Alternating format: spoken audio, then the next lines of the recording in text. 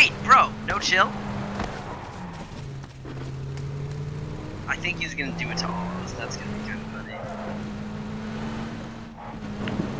funny. Nope. Now we're gonna fight. We're gonna drive. We're gonna stay in this truck till somebody shoots at us, and we're gonna drive straight towards him and kill him. You guys ready?